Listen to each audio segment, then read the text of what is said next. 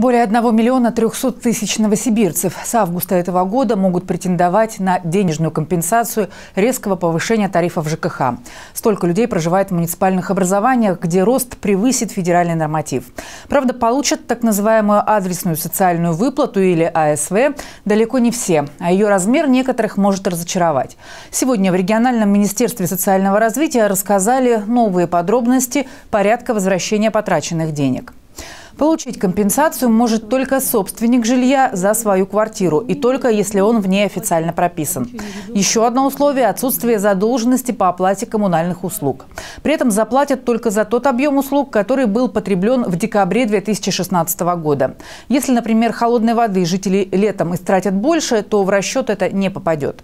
457 тысяч льготников получат выплаты автоматически без подачи заявлений. Им вернут сумму повышения за вычетом 4%. Для остальных жителей области сумма будет вдвое меньше. Заявления на компенсацию будут принимать с 1 августа до 31 января 2018 года в отделениях соцзащиты. При этом компенсацию выплатят в полном объеме за весь период, независимо от даты обращения.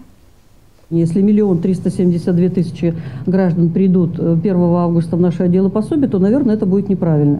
Поэтому в постановлении четко прописано, что мы делаем расчет с месяца обращения. Обратиться в августе с августа, обратиться в сентябре. Мы в сентябре запросим все эти э, сведения у поставщиков и сделаем их с августа месяца.